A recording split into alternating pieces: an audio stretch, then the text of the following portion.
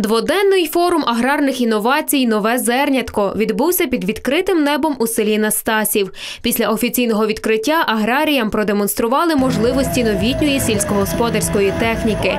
Далі усі охочі відвідали тематичні конференції, оглянули демонстраційні ділянки зернових, зерново-бобових та технічних культур.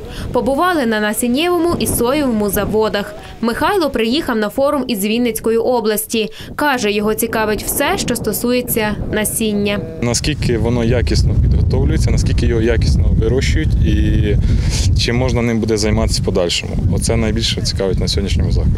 Українські та закордонні фахівці з галузей насінництва та рослинництва приїхали на форум, аби поспілкуватися між собою, побачити презентації продукції західних партнерів, познайомитись із виробниками та дистриб'юторами засобів захисту рослин, добрив та насіння. Ми е, раді можливості відкрити тут демонстраційний центр, який працює вже 4 роки. Ми тут е, також випробовуємо нові підходи і намагаємося отримати кращі врожаї і підтримати рослини в стресових умовах. About five years, yes, correct. My sюда поставляем э, биостимулятор, производен в Биоберике в Испании.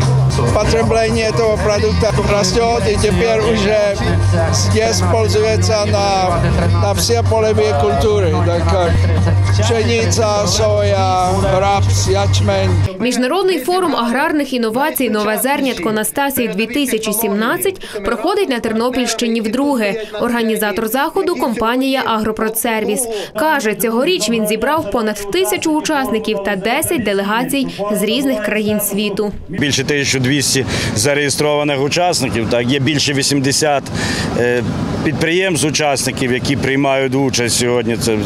І є делегації більше з 10 країн, тобто представники більше 10 країн. Тобто це є Іспанія, це є Швейцарія, це є Білорусія, це є Польща, це є Чехія, це є голландець, є десь, е, це є поляки. Ну ще когось може пропустив. Білорусію називав, напевно, вже так. Ну і напевно ряд ще, ще інших. Оцей форум це якраз воно побудовано на тій ідеї, що ми маємо зібрати різні підприємства, от, різні технології, і тут побачити, що є краще, вибрати. Кожен має аграрій для себе, не тільки ми, а кожен аграрій має вибрати для себе. Аграрії переконані, такі зібрання це чудова нагода дізнатися більше про свою роботу. кажуть, головне їхнє завдання на сьогодні це вирощувати якісну продукцію, яку чекають як на внутрішньому, так і на зовнішньому ринку.